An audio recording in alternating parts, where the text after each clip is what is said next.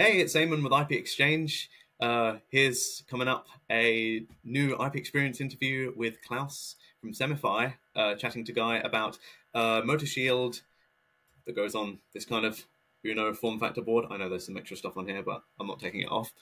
Um, and unlike Arduino's conventional uh, Motor Shield, uh, this one goes much higher power. So uh, if you want to build robotics, uh, that can push just a little bit further than the Arduino Motor Shield. Check this one out.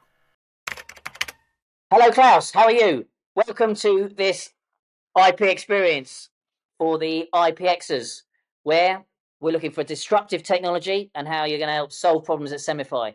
So, tell us all about what Semify do and how you solve the world's problems. Okay, that's a, that's a good idea. Yeah, thanks a lot. So, also, yeah, happy to to having the interview with you. Um, I'm Klaus from Semify, founder of Semify. We are working on developing products which, let's say, help engineers in order to uh, solve, let's say, dedicated problems. So we have currently developed two different products. So one focusing on um, doing a motor shield, DCC-EX uh, compatible, which is an open source community. Say that again. Uh, just repeat. Just repeat. It's uh, okay. So it's a it's a motor shield. Um, motor shield. Motor shield, which is compatible to Arduino. Right. And it is um, for uh, especially developed for DCC-EX, which is an open source community for model railroad systems. So it was developed with the community there, but can also be used um, for different other motor shield applications. It is compatible right. to the already existing motor shield uh, from right. Arduino itself. So tell me, just tell me, because we're a general platform, so we're all about design engineers, lots of different applications, okay. and we're a general platform where people can come and find out about solutions generally, and then they specifically then will come onto ipXchange and find things that will help them uh, develop. So start from the beginning. Explain to me about Motor Shield. Explain to me what that is. Okay, good. Okay, so the Motor Shield we are developing, it is an Arduino compatible Motor Shield. So it fulfills the pinout and is compatible with Arduino systems. It um, is a special, it was developed for together with the DCC-EX Railroad community, which is an open source platform in order to um, develop and drive uh, dedicated developments for model railroad systems. Nevertheless, the motor shield itself can be used by many other applications. Um, right.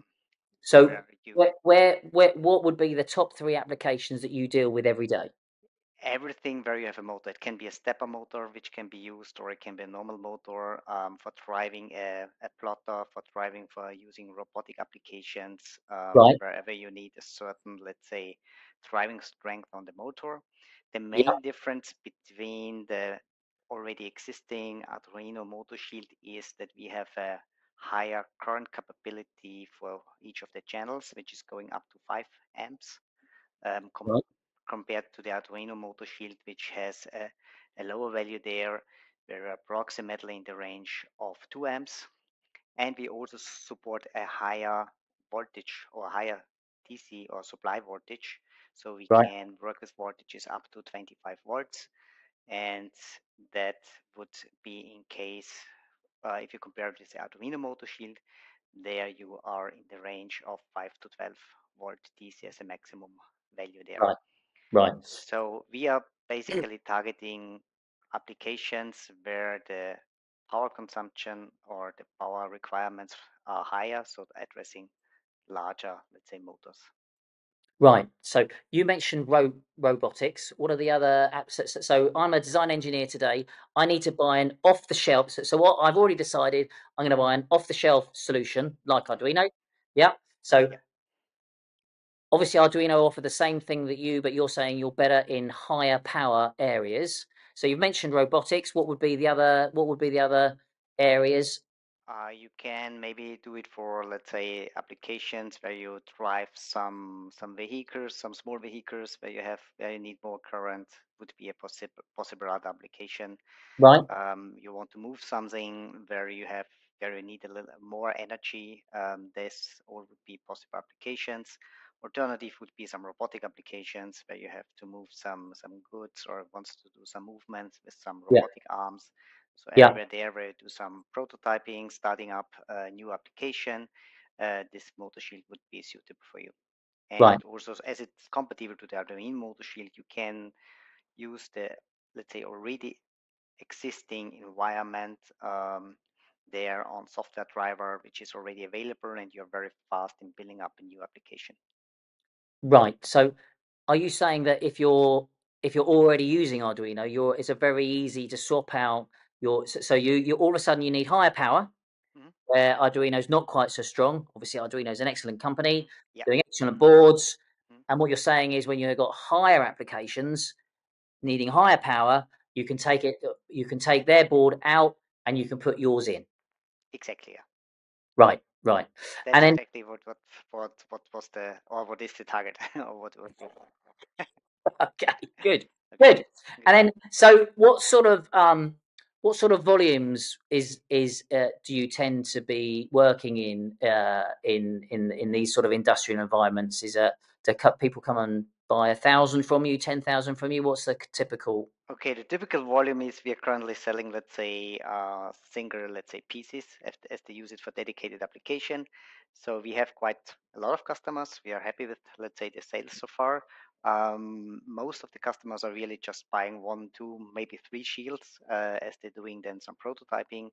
right And there, of course, in case there is the need uh, for using it also really in application with higher volumes, we can provide also bigger numbers, not not a problem.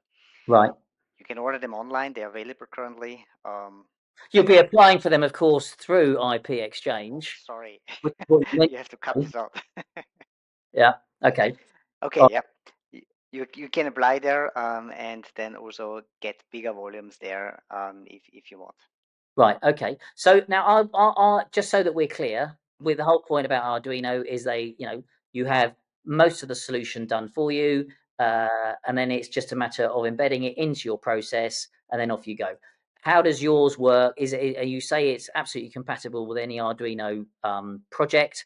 What else goes on once you get your board for prototyping? What goes on? What happens? what happened. So we did one demo application in our case where we connected it to a stepper motor. We made uh, a Nucleo board in this case, but um, connected it with, uh, added our motor shield on top, connected it with the motor, and um, and then made a very simple stepper application there where you could move the, the motor in a certain direction, or you can also change the speed, and you could also um, yeah change Right. the, the direction and the position of the movement. But the point, of course, is that they're not just getting their board; you, they have to use your software to do that at the same time. This software itself is shared as a open source. Uh, Right. All, so all the software open too. it, yeah because it, the target was in this case not a really let's say finished product. In this case, the target was to show the easy usage of um, the motor shield together uh, with the um, Arduino compatible board. Right. Right. Okay. and it worked let's say out of the box um, taking one of my guys one one day to put everything together including all the yeah surrounding environment Right. Right. So, in summary, we'll, if, if we're just going to talk about what's the perfect scenario for you, it would be, let's say, a robot a robotic arm where there's not a comparable off-the-shelf s- solution. So you don't have to start from scratch. Mhm. You you may well be using Arduino already, but you need higher power. So whether that's in a small, let's say EV, uh, would that dare I say it? How big would that? How big would that small EV be? Are you talking about something that might drive two people around in India, or are you talking about something smaller than that that might be going around a factory? Well, you mentioned that you could use it for EVs, didn't you say that earlier on in our chat? uh, so if you if you do some vehicles yes yes you could depends on on, on the not not a big big one in the savers where you can can put people in there um but something you can drive uh five times two, 75 watt vo- uh, motor or something like this as an Right. Okay. So so all right. So so very robotics. That the uh, a simple where Arduino can't solve the problem. you can in the Hive area. You make it very, very easy because it's completely compatible. And then you provide the software that's open source. That means you just get on with your project. Exactly. Yeah. So there we go. So if you, like me, are a Uno user, check out Semify's Motor Shield on ipxchange.tech, where you can apply to evaluate this technology or build it yourself thanks to the open source nature of the designs, which can be found on the Semify GitHub. Keep designing. Hey, where my engineers at?